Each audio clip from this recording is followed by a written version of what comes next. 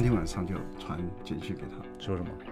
我们约会吧。你说，你说我们要不要在一起？他大部分的讯息都是已读不回，或是不读不回。周玉琴认爱情密照流出，赖月谦直球进攻被已读不回一年。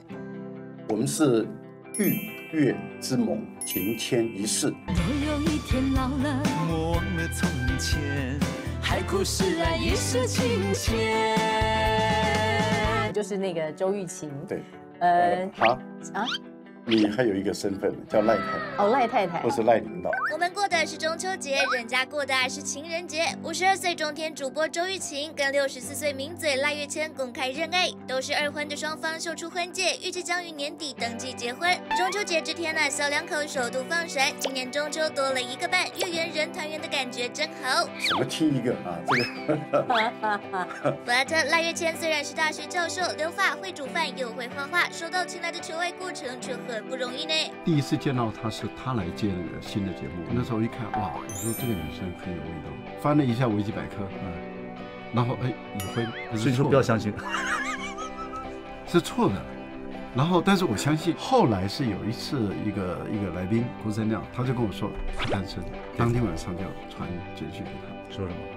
我们约会吧。然后那时候傻眼，然后也不知道这个简讯该怎么回。他大部分的讯息都是已读不回，或是不读不回。他觉得莫名其妙，就是一哇个来宾这个太，一个赖教授，完全违反他三个原则的，不能老，不能老的啊，。我太老，你大他一轮吗？呃，我当他刚好一轮。第二个不能是大学教授，那你也是大学教授，那第三个呢，就是不能够是同事不同同事，呃，对，不能够是来宾。他希望公司能够分离，但是有感受到他对我跟其他来宾不太一样。呃眼神态度事实上是有一些不一样。最早的时候，他就说他不是一个会把一个人悬在空中的那样。对对对但是我怎么一直感觉我被悬在空中？那个时候我就就不是很理解，然后也 OK 也不是很愉快，失落、沮丧，对自己没自信心。后来就就是这样，也也也 OK 也过了快一年了。我靠！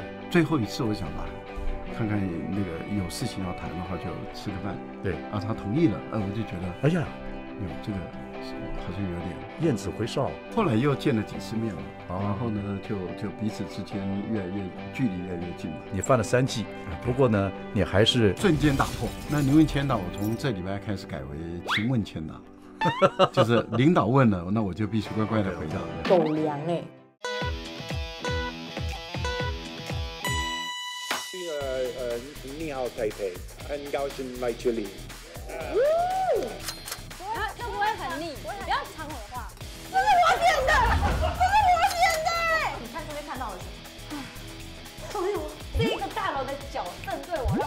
开心。不开心。